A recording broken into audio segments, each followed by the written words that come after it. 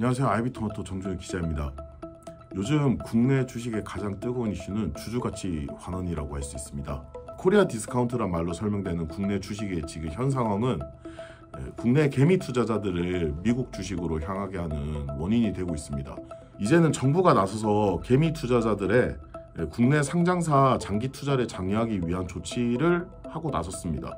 정부는 오는 2월에 기업 밸류업 프로그램이라는 정책을 실시할 것으로 예상이 됩니다.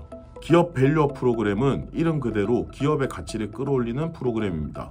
아직 구체적인 정책 내용은 알려지지 않았지만 기업 자체적으로 PBR 등 저평가 원인을 파악해서 이를 끌어올릴 수 있는 방안을 시장에 공개하도록 유도하는 방법이 될 것으로 예상됩니다. 기업들이 스스로 가치를 끌어올릴 방안을 마련해라는 거죠. 기업 밸류업 프로그램이 실시가 되면 예, 저평가된 국내 상장사들이 자구적으로 주식을 올릴 수 있는 방법을 마련을 해야 될 것으로 보입니다.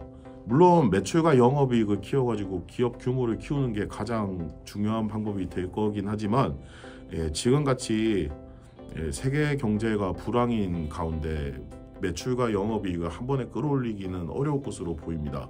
이에 자사주 소각이나 예, 자사주 매입 등 주식 저평가 문제를 해소하기 해소하려는 상장사들의 노력이 이어지고 있습니다. 예. 일각에서는 정부가 PBR 1 이하 즉 저평가 상장사들 목록을 투자자들이 한눈에 확인할 수 있게끔 하는 등 저평가 문제를 계속 이렇게 어, 부각시킬 것으로 예상이 되고 있습니다. 참고로 예, PBR은 주가 순자산 비율로 시가총액을 자기 자본으로 나눈 값입니다. 예, PBR이 1이라는 거는 예, 시가총액과 상장사의 자기 자본, 그러니까 내 돈, 내 돈의 총계가 같다는 것으로 예, 딱 기업이 가진 내 돈의 가치가 시가총액과 동일한 걸 말합니다. 그래서 이제 PBR이 1보다 낮다고 하는 거는 예, 기업의 시가총액이 내가 가진 기업이 가진 돈보다 더 낮다는 것을 의미하는 것으로 예, 상대적으로 주식이 저평가돼 있다는 것으로 해석을 할 수 있습니다. 예, 또 지속성 관점에서 보면 주주들에게 이제 뭐 자산 내 돈이 많다는 거는 주주들한테 돈을 풀지 않았다는 걸로 이어질 수 있기 때문에 예, 상대적으로 PBR이 낮은 회사들은 예, 저평가 이제 내가 가진 돈을 주주들에게 환원을 제대로 하지 않은 뭐 그런 회사도 뭐 있을 수 있다라는 걸로 해석될 수 있습니다. 그래서 이제 저, 주식 저평가 문제, 즉 코리아 디스카운트 문제는 작년부터 이제 주주들 사이에서도 계속 말이 많이 나온 예, 주제입니다. 예, 작년 뭐 2021년, 2020, 2022년 돈이 뭐 역대급으로 풀리면서 기업들의 실적이 그때 되게 좋았는데 주주들이 이제 거기에 대해서 이제 우리도 나눠달라 주주로서 우리들도 환원을 좀 해달라 이런 권리들을 요구하기 시작을 한 거죠. 예. 주주들도 그래서 할 말이 많습니다.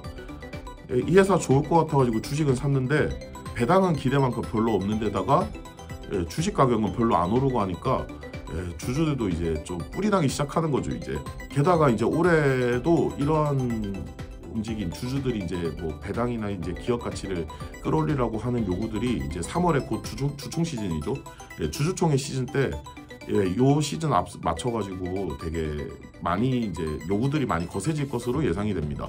일부 주주들은 이제 힘을 모아가지고 지분을 모아서 연합해가지고 주총 때 뭐 배당 확대나 기업 가치 제고를 이제 거세게 요구할 것으로 예, 올해 주총에서도 그런 움직임이 예상이 됩니다. 정부도 나서서 기업 가치 재고를 요구하고 있고 주주들도 함께 이제 벌떼처럼 일어나서 이제 기업 가치를 올려라 이렇게 요구하고 있는 상황입니다. 거기에 맞춰서 기업들도 지금 이제 주주들과 정부의 요구에 이제 맞춰서 기업 가치를 올리기 위해서 준비를 하고 있습니다. 대표적으로 삼성물산이 있는데요. 예, 삼성물산은 작년 2월에 자사주를 향후 5년간 예, 전량 소각하는 결정을 예, 했습니다. 근데 올해 들어와가지고 삼성물산의 계획이 좀 바뀌었어요. 원래 5년에 걸쳐가지고 자사주를 소각을 하려 했는데 이를 3년으로 단축을 시킵니다. 예, 더 빨리 자사주를 다 태워버리겠다는 거죠. 자사주를 말씀드리면 자사주는 회사가 보유하고 있는 자기의 주식인데 예, 자사주가 소각되면 주식시장에서 유통되는 주식 수가 줄어들기 때문에 자연스럽게 주식이 수가 주식 수가 줄어들고 예, 희소성이 올라가면서 예, 주식가도 주가도 많이 올라가게 됩니다. 일반적으로 그렇다는 것이 다 올라가는 것은 아닌 것 같고요. 삼성물산은 지난 3분기 기준으로 자사주 2,358만 2,523주를 보유하고 있습니다. 삼성물산의 전체 발행 주식 수는 1억 8,721만 9,095주 아, 많네요. 네, 요 그런데 자사주 비율은 전체 발행 주식 수의 12.6%입니다. 삼성물산이 앞으로 3년 그러니까 2024, 2025, 2026, 2026년까지 단계적으로 자사주를 소각하면 발행 주식 수는 1억 6,363만 6,572주로 줄어들게 됩니다. 삼성물산의 주가는 예, 주식 소각을 발표하고 나가지고 예, 크게 뛰게 됩니다. 소각 발표 이후 삼성물산의 주가는 1월 31일 기준으로 13만 원이었는데 예, 발표한 이후에 3일 만에 20% 가까이 뜁니다. 삼성물산 외에도 SK텔레콤, HD현대인프라코어, 고려아연, 현대모비스, 네이버, 셀트리온 등 다양한 상장사들이 지난해부터 그리고 지금 2024년 초까지 지금까지 이제 계속 주식 소각 계획을 발표하고 있습니다. 이들 기업 모두 소각 결정 이후에 주식이 뛰면서 PBR이 개선된 효과가 나타나고 있습니다. 다만 이러한 기업들의 소각 정책이 반짝 상승에 그치지 않을까라는 우려도 이어지고 있습니다.